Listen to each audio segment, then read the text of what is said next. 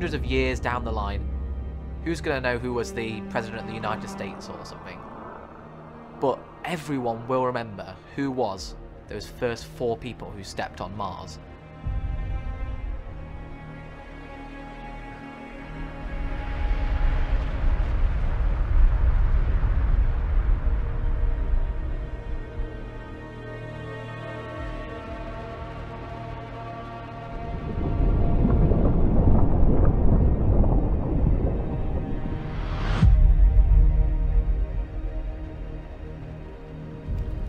Might put me in danger, but that's the whole point.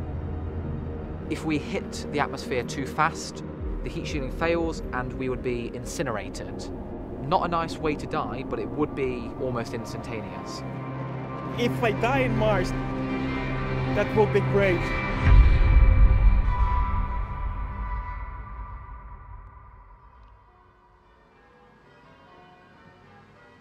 Pi! Oh, yeah, not, not the pastry kind, the, the mathematical kind. So, I know 90 digits of pi 3.141, 5926, 558, 3238, 46, 264, 33, 8279, 50284, 171, 693, 937, 582, 097, 4944, 592, 307, 8164, 062, 862, 0899. You sure that last nine is not an eight? No, definitely a 9. We're going to be considering how to get from Earth to Mars. So what we'll do, we'll start with not hitting that. Ryan, have you ever had sex? No, I haven't. Do you want to? Not particularly. I, I don't have any desire to have sex. In fact, I've, I've never actually kissed anyone before. Have you ever masturbated? Um, yes, but there's kind of um, If you there, there's a include that- scientific reason for that, but um, What do you mean? well, um, it raises your risk of prostate cancer if you don't. Minus g times the mass of the sun divided by r2. So this is the first velocity boost that we need to get onto our Hohmann transfer orbit. I think the most important thing to do in life is to leave a legacy. A lot of people do that by, say, having a child and having a family. For me, this would be my legacy. To try and find there's life on Mars, to inspire a new generation, to lead to the beginnings of the first civilization on the planet. That is my legacy.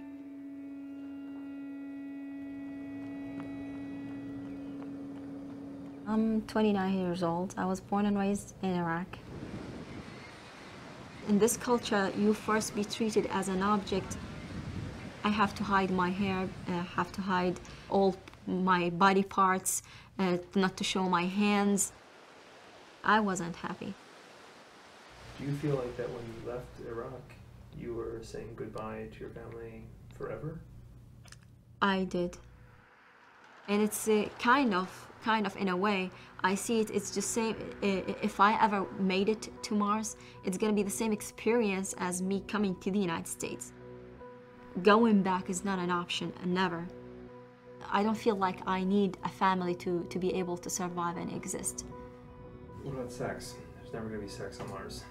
How do you feel about that? It's not a big problem for me not to have sex for um, definitely. Uh, I don't want to. How, how can I say it? Can I say I feel kind of shy to say it? It's just you can satisfy yourself.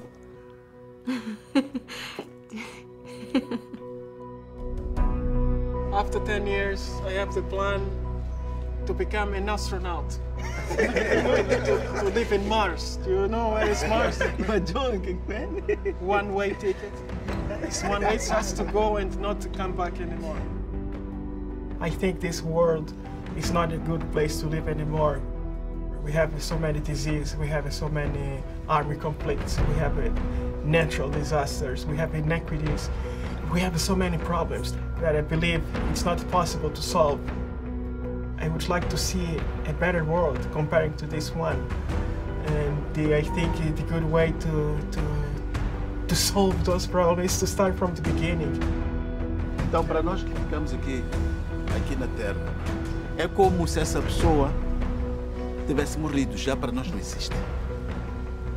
Não é um suicídio. Poderia-se pensar, ah, ele está a suicidar-se. Não é suicídio. Antes, pelo contrário, ele vai para lá. É missão de Deus. É missão da humanidade. When I was very young, around the age of two, uh, my dad left me and my sister, who had only just been born. He made a conscious choice not to support or care about my sister and I throughout our entire childhood. And that makes me feel almost, does he not care about us? Are we, are we not uh, worthwhile of that? It does make me angry. I do worry because my sister and I, I feel like, did we miss out on something when we were younger that almost everyone else had? Has your sister been okay without a father? Um, I'm not really sure to answer because I don't want to touch on something that she wouldn't want on the camera. But there, there is um, there is a reason, but I'd rather that not be on the footage. Cause I just I just love my sister to bits, and it there's no worse thing to see than someone almost losing who they are. Didn't you ever, when you were little, think, where the fuck are you? I didn't have a father figure really being my actual father, but I had the advantage that my grandparents kind of filled that in. I know, but what about So- your father? I don't know because what what because I don't know what's a father supposed to do because I haven't had one. A lot of the traumatic experience that I've had throughout my life has been due to people abandoning me, and I suppose now if I get to go to Mars, then I would be abandoning everyone. I mean. It's, it's, it's not like I'm like, haha, I will punish those who abandoned me by abandoning everyone. It's not it's not not like that at all. Bye. Take care, Ryan. Well, the last time I hug him, i- i- if if it does come to that moment, then uh, I will tell him how much I love him. I will certainly cuddle him. I, I will kiss him. Um, then I will just just tell him to enjoy his life and never ever forget how, much he's loved. I think uh, love is a, is a word that refers to an emotional need. I have never felt, and I don't think that I believe in it. I believe that uh, there is nobody has this kind of emotional effect on me. Love is not something that I need. If I fall in love in the next, uh, before I go to Mars, uh, I'll have a terrible problem to deal with that. It's something that you can't control. You, you, you, you can't avoid completely, but you can control when you feel that your, your feelings are changing. You can try to stop in that, at that point. So that's what I'm trying to do. Let me offer like the following thought, and I want you to comment on this. I think that the Mars One mission is a great and noble idea, but there's a contradiction. The only people who could go on that spaceship, who could commit to Uh-huh. going to Mars forever, have to be somehow crazy. True or untrue? Define crazy. Uh, crazy is uh, uh, is uh, the unfamiliar. Crazy is the different person. What is crazy for people uh, is crazy for me. I think my sister, older sister, is crazy for having her dream to be uh, have kids and have uh, a husband and grow up and die.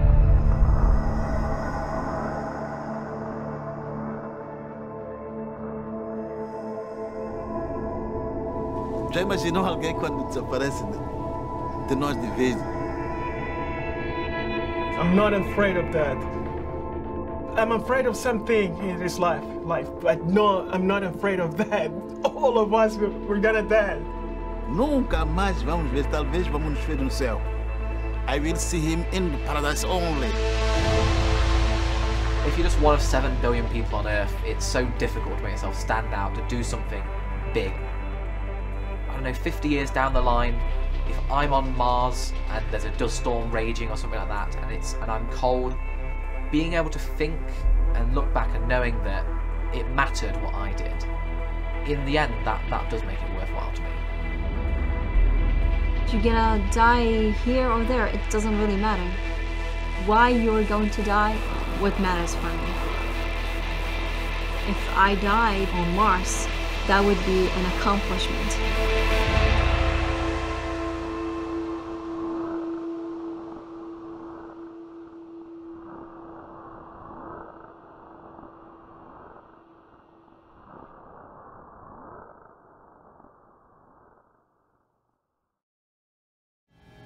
We're the ultimate voyeurs, the ultimate peeping toms. No one's gonna catch us, and we're getting orders to take these people's lives.